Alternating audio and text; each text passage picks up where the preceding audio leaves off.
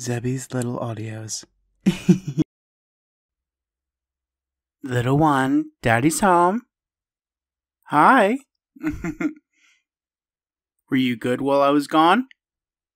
Did you miss me? What's the matter, baby? You seem upset. What's wrong? Hey!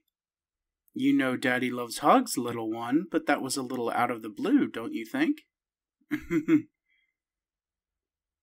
you just really missed me? No. Well, I'm back now, so you don't have to worry.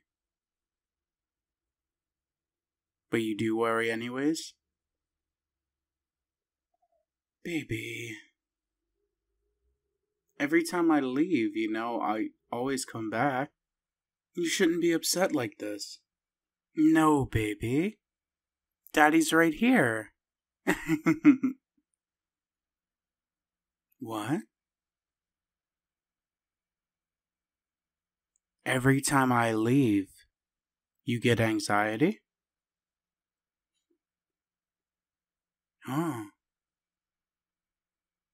Are you positive that's what it is? Baby, I had no idea you had separation anxiety. Oh, baby. Oh. I'm sorry, baby. I really didn't know. Um. I was only gone for 15 minutes. I mean, it wasn't that long, was it? It felt like hours. I imagine that must feel pretty rough. You just gotta know that I'm right there with you at all times, okay? Mm hmm. I'm in your heart. Keep me close. And I'll never leave your side. Baby, I'm sorry. I really didn't mean to upset you. Tell you what, how about we go down to construct a teddy workshop? Yeah, remember that place? And we can get you a bear or any stuffed animal you like. And I'll tell you what, Daddy will put his voice in it. Yeah, that's right. So all you have to do is squeeze your stuffed animal's hand and I will talk. How does that sound?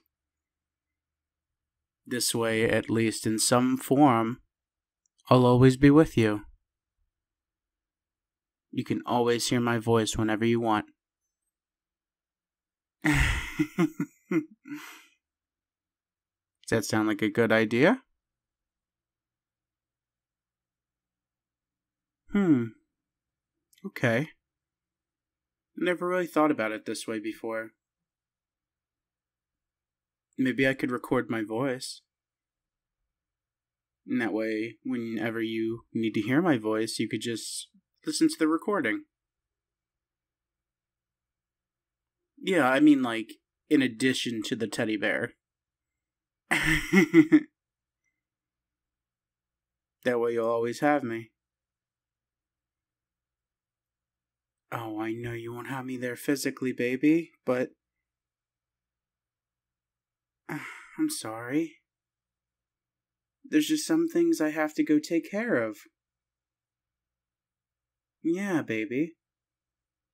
It's not like I want to leave you. And if I could, I would make sure you're never without me. Because I love you, baby. And I don't want you to suffer with this separation anxiety anymore.